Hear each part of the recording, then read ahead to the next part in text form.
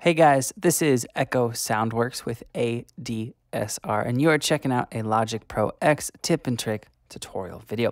So in this video, I'm going to show you how you can copy and paste groups or sections of audio or MIDI, doesn't matter what, that aren't on a like noticeable grid or pattern. If they're just kind of like maybe you've created some chops or something like that. And that can be a little bit hard to do. So if you don't use this method, what you would typically do, like let's say these little blobs of audio here, let's say these need to repeat twice in this uh, 16 bar section, right?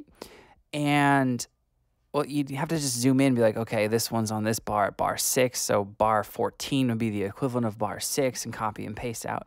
And that can be a pain in the butt, especially if uh, you're doing longer passes and that sort of stuff. So what we're going to do here, and these samples are, are these chops are just vocal breaths that I want layered in on some random snares and hits for like an ambience and kind of sort of vibe.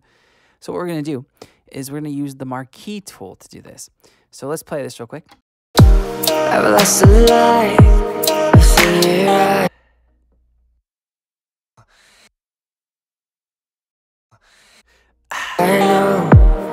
Tell me now, where did you go? This is your life. So I want those happening on the last half of this 16 bar little uh, verse right here. So what I'm going to do is I'm going to hit escape on my keyboard. I can hit R again, or I can actually hit R for the marquee tool. It's right there. And with the marquee tool selected, what I'm going to do is I'm going to highlight out from a musical, like where it makes sense musically. So I wouldn't highlight right here because if I copy and paste that, I'm kind of in the same boat. It's just randomly going to be occurring. So what I'm going to do is I'm going to say, okay, I want these blobs of audio to occur every eight bars, the same amount. So I'm going to highlight from the start of that eight bar on that on that track. I'm going to go from bar 5 to 13. Then with that selected, I'm going to hit Command C.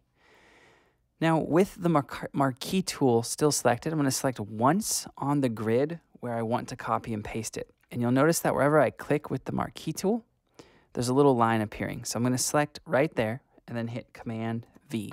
And there it is. And it'll be perfectly lined up with how it was on the first take, on the first pass of that eight bar. Where did you go?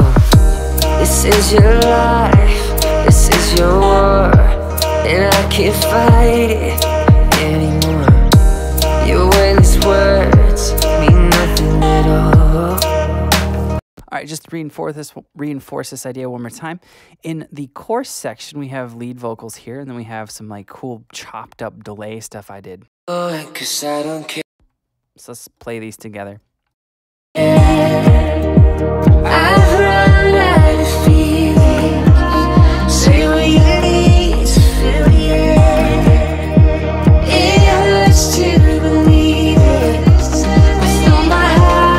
Okay, so let's just say hypothetically that I wanted this breakdown chorusy section to occur twice in a row. I don't because it'd be too long, but let's say I want it to.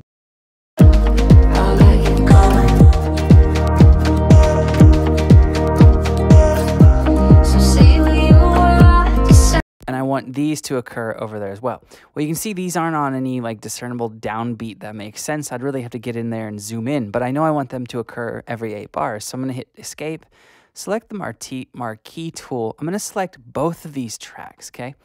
Now, both of these tracks are highlighted. In the first example, there was just one. So now I'm going to do is highlight this out for the first uh, chunk of the course, which is, appears, appears to be a 16-bar loop.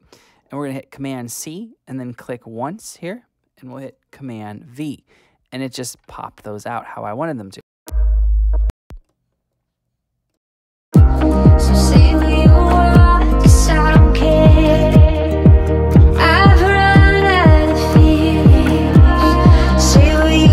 And there it is, guys. A really easy, easy way to copy and paste things that aren't on grid inside of Logic Pro X. If you have any questions or comments, let me know below, and I'll get back to you as soon as I can.